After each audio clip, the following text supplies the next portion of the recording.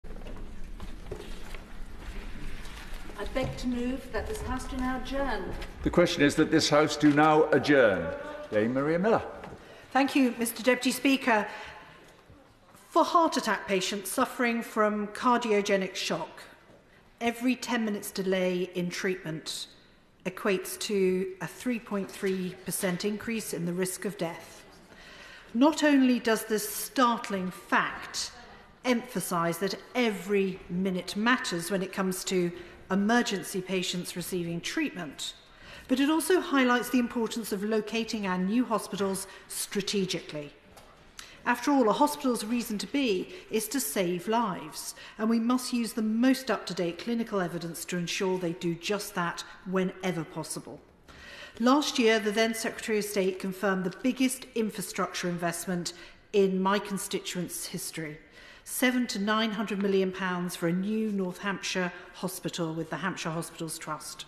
We've just completed an extensive public consultation on how the new hospital will evolve the provision of services at two of the hospitals in the HHFT um, Foundation Trust, the Basingstoke and North Hampshire Hospital and the Royal Hampshire County Hospital in Winchester.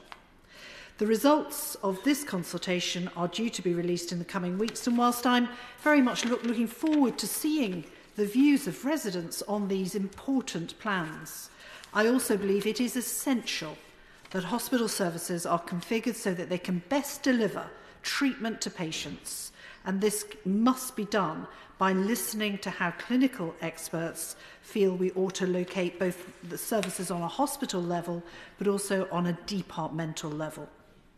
Although funding was confirmed last year, work to identify potential sites for the new acute hospital began in 2019. A comprehensive search for the right location spanned across North Hampshire, including Alton, Andover, Basingstoke and Eastleigh, Winchester and their surrounding areas. As well as practical considerations such as price, availability and size, absolutely fundamental to HHFT's criteria were a series of clinical considerations regarding how to improve patient outcomes and increase accessibility. In the end, two viable sites were identified, one which is the Trust preferred option between Basingstoke and Winchester near junction 7 of the M3, the other is on the existing Basingstoke Hospital site. During assessments, the current Winchester Hospital site was also considered as an option. However, it was deemed to be too small to accommodate all of the services needed at our new acute specialist hospital. And besides, there's no adjacent land which could facilitate future expansion. A key reason why Junction 7 is the preferred site is that the ambulance service have argued in the past it would enable the sickest patients to access care more quickly. Locating a hospital in the centre of a town or a city may be convenient for patients attending elective surgery, but it is increasingly awkward for ambulances in a race against time. And as the statistic about heart attacks demonstrate when I open my remarks today, ambulances are so often in a race against time. And Junction 7 is a convenient location between Winchester and Basingstoke with easy access to the M3. Combined with the important access considerations, building a new hospital at Junction 7 would also not disrupt existing services while construction is taking place. These proposals are rooted in science and clinical experience and they'll save lives. And it's clear to me that residents from across North Hampshire should follow the expert opinion on how um, their, and throw their weight behind supporting the Junction 7 approach. Not only is clinical guidance essential to the siting of the new hostel site, um, so is the location of specific services. The new HHFT hospital consultation introduced what the Trust's, uh, the Trust's new model of care, which centralises crucial services, an approach underpinned by mountains of clinical evidence, evidence and research. Medical evidence suggests that centralising services in this way reduces duplication, increases the quality of care, and is best of all for patients. In some departments, this model has already been rolled out, uh, for instance, cardiology. If you have a heart attack in Northampton or Mid Hampshire, you will be sent to an amazing new heart centre in Basingstoke, where you'll be assured of top quality care all hours of the day. And the results have shown that this approach really saves lives. And we don't have to just take my word for that uh, seven of Hampshire's top clinicians, including the chief medical officer, published an open letter in support of this approach. And they wrote that bringing to, and I quote, bringing together more specialist services for the most seriously ill patients into one site would mean we are able to bring services in line with best practice and national guidelines. This means if you're critically unwell, you'll be seen by experienced senior doctors and nurses who are experts in their field. And this would have significant benefits for patients, both in terms of improvements to their care and their clinical outcomes. And that is a quote from those experts. To bring the benefits of the new model into even greater focus, I want to touch on two particular areas of service maternity and emergency care. Neonatal care units are graded on a three tier scale, ranging from level one, which can treat unwell babies, to level three, which can care for the most premature or unwell.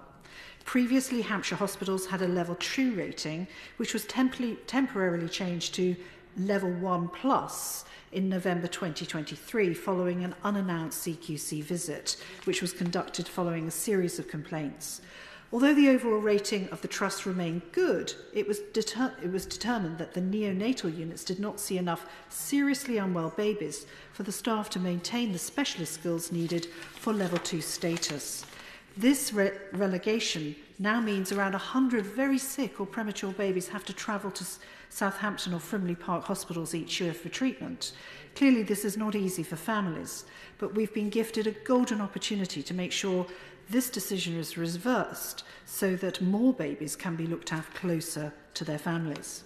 Good practice and standards suggest that there should be 98 hours a week of on-site consult consultant cover, with 60 hours being the minimum requirement.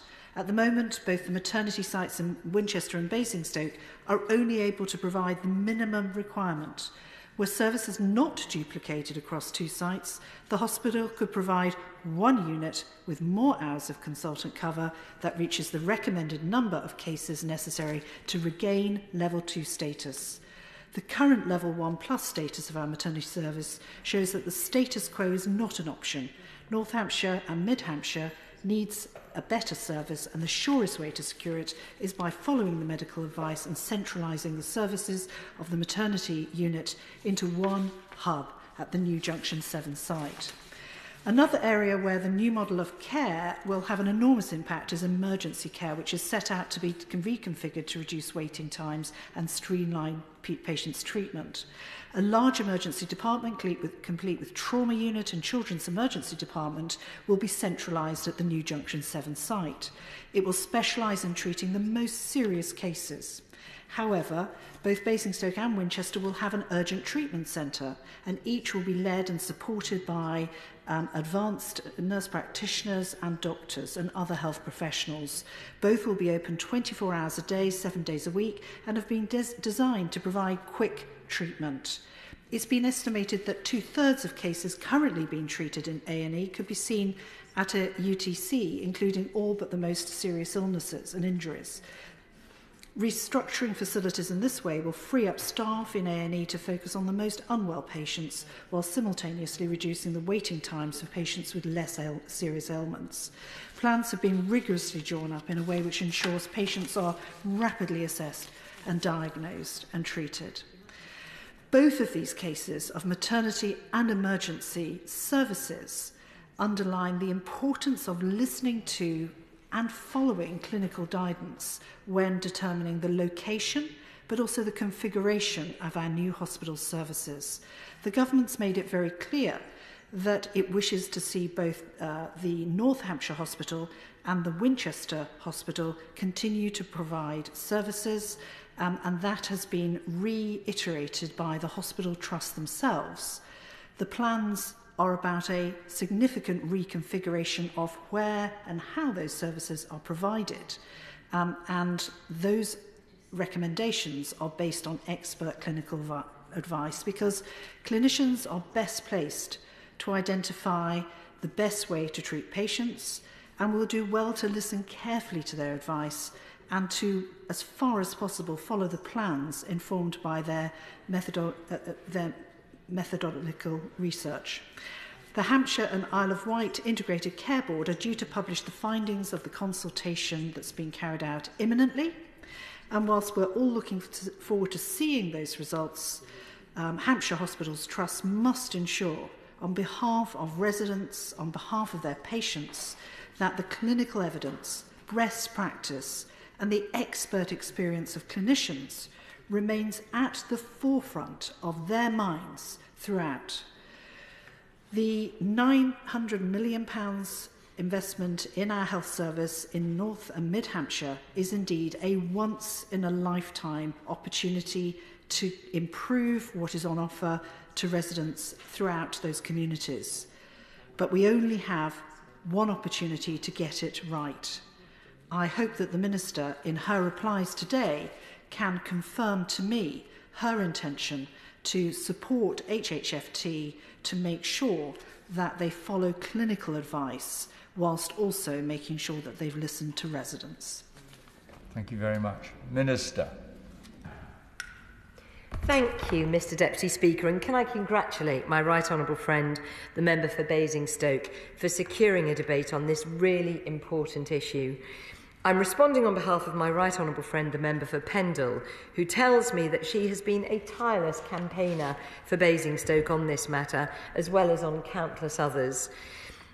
So, Mr Deputy Speaker, the government believes that the people of Hampshire should, of course, have a say over where their new hospital should be built. And as my right honourable friend said in her remarks, we've asked people from across the county to share their views with Hampshire Hospitals NHS Trust. I'm sure she understands, however, it would be wrong of us to preempt their views or indeed to interfere with their decision making. But I am happy to assure her that we remain absolutely committed to delivering the new hospital. The Trust and Integrated Care Board are going through the responses as we speak, and they will submit a business case for NHSE regional approval through the Integrated Care Board in a few months' time. And I should be clear that while the Trust and the ICB do this, there will be no final decision on the new hospital's location or the services that it will deliver. But once a decision has been taken, we will, of course, update the House. And I'm sure my right honourable friend will have much to say about that herself too. Now, I would like to address the points she raised on the importance of clinical guidance informing decision making. She's absolutely right to say decisions should be locally led and based on the best clinical evidence, which is why proposals must meet our tests for good decision making, which include a clear evidence base that's in keeping with clinical guidance and best practice. In developing the consultation, the Trust have looked at a variety of options to deliver clinical care in Basingstoke and Winchester. Experts have been consulted at every stage of the process to provide appropriate clinical guidance. Two particular examples in the consultation demonstrate how the Trust used clinical guidance to inform the options that they've put forward. The first relates to proposals around accident and emergency services the Trust received expert clinical guidance from local doctors who strongly agree that maintaining emergency departments at both Basingstoke and Winchester would be unsafe and unsustainable. The Trust also received advice from the South East Coast Clinical Senate, an independent panel of senior doctors who expressed concern over retaining an A&E department at both sites due to serious concerns around patient safety. Instead, they have argued that acute medical services must be twinned with surgical services in order for patients to receive first class care.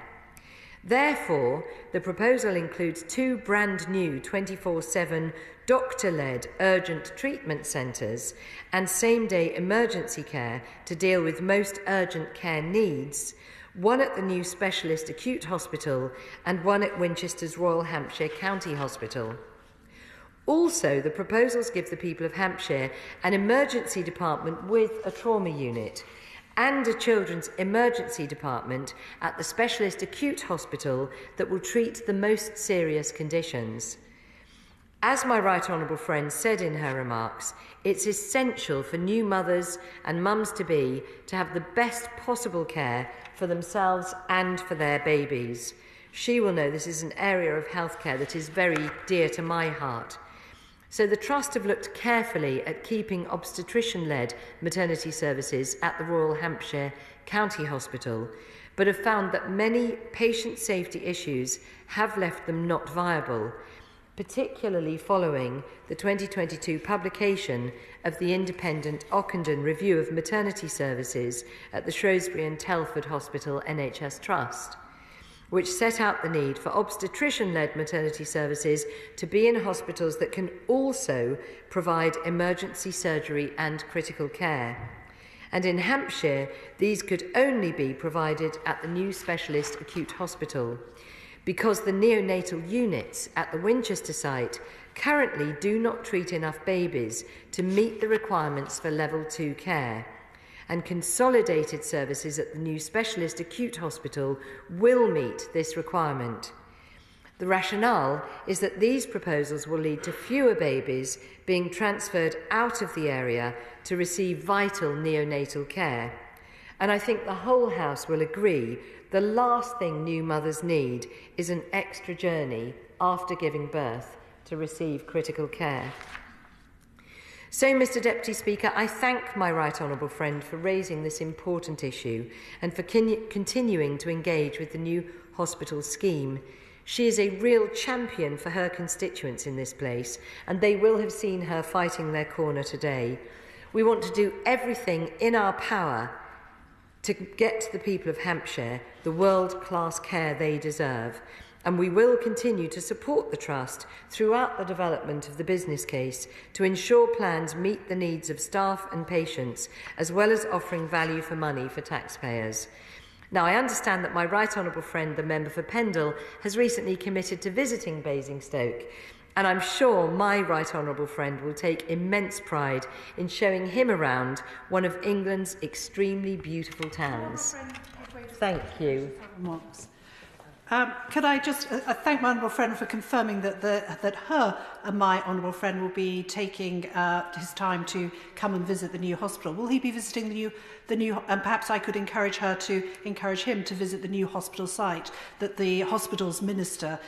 is, uh, has already announced he's in the middle of procuring. I shall certainly pass that message on to my honourable friend, and once again, congratulations to my right honourable friend for raising this debate on this very important topic today. The question is that this House do now adjourn. As many of that have say aye. Don't you know? I think the eyes have it. The eyes have it. Order.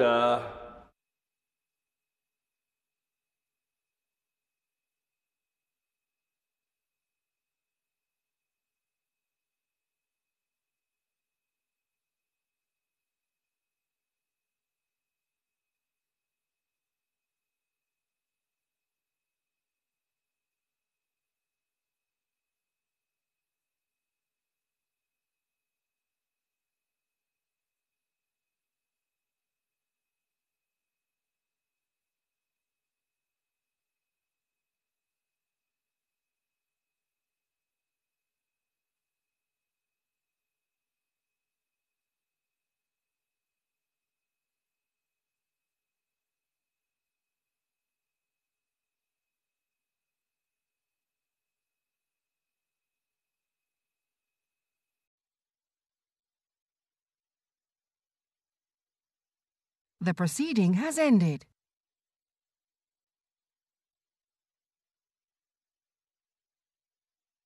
The proceeding has ended.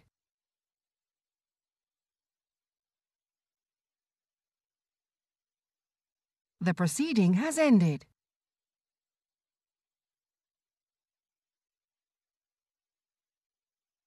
The proceeding has ended.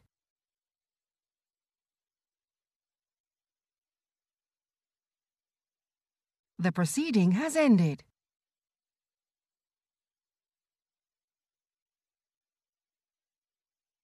The proceeding has ended.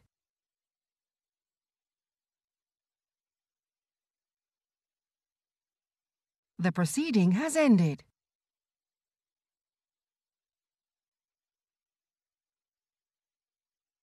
The proceeding has ended.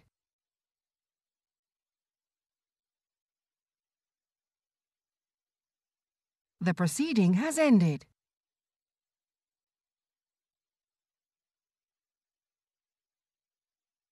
The proceeding has ended.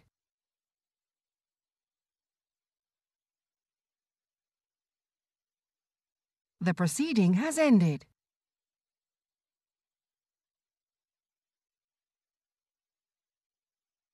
The proceeding has ended.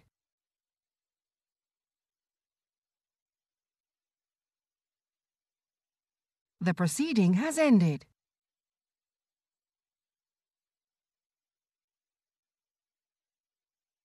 The proceeding has ended.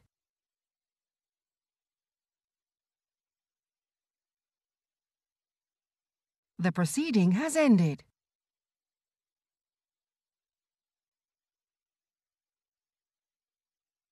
The proceeding has ended.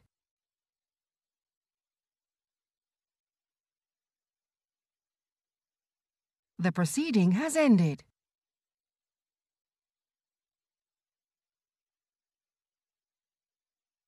The proceeding has ended.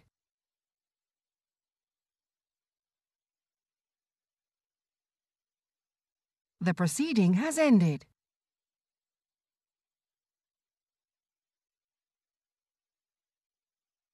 The proceeding has ended.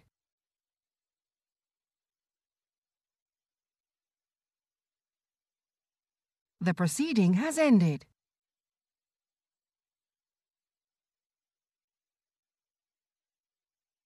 The proceeding has ended.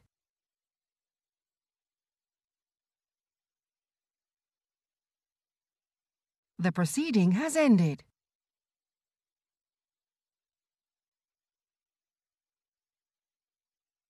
The proceeding has ended.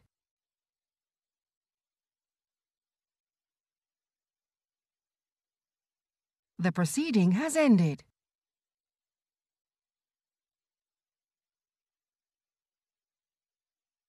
The proceeding has ended.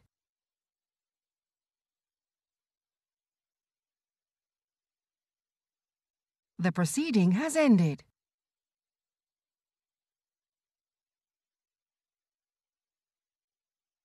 The proceeding has ended.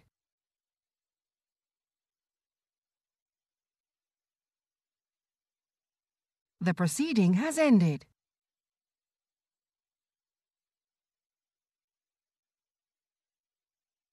The proceeding has ended.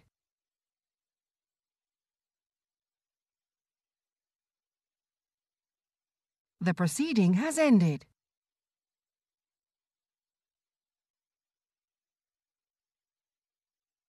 The proceeding has ended.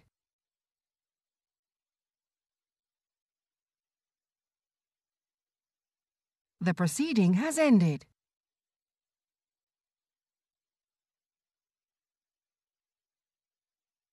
The proceeding has ended.